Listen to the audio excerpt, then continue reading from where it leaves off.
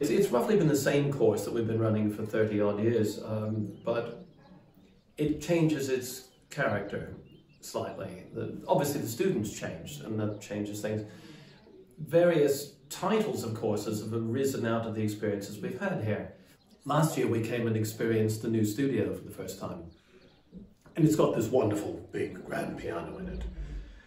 And first reaction was Clive, our pianist, sits down to the piano and we're all saying, hmm. That's a little potentially overwhelming in this space, but it does mean that the singers that are working on their opera arias can really go for it. They will feel utterly supported and they'll feel we go for fortissimo and it'll be okay. And then I come in with my lute and I'm working with maybe a slightly more natural kind of voice who's singing very gently. And I'm thinking, hey, these acoustics are great. I can gently strum a chord, she can sing gently. There's no need to fill the space aggressively. You can fill it gently. You can offer your sound into this and it will work. So we thought, hey, we've got a good venue here to go from pianissimo to fortissimo. And that's what we've called this course. Because what we're always trying to do is to bring together strands of singing experience that seem in many people's minds to be contradictory. You're either a folk singer with an untrained voice, or you're an opera singer with a trained voice. And we're trying to help people find where these two things meet each other. Maybe you are naturally an untrained voice, but you want to be a bit bigger in as far as you can go. Or you're a trained voice and you're feeling in a straitjacket because of your training. And you need to discover some of your childlike freedoms.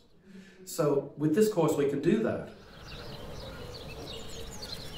And that's what we find here is a kind of legacy of honesty and down-to-earthness. And I think Maureen set the tenor for that and it has endured as her legacy, her memory, is let's come here and be honest and get down to earth. It's a dichotomy it, between naturalness and training.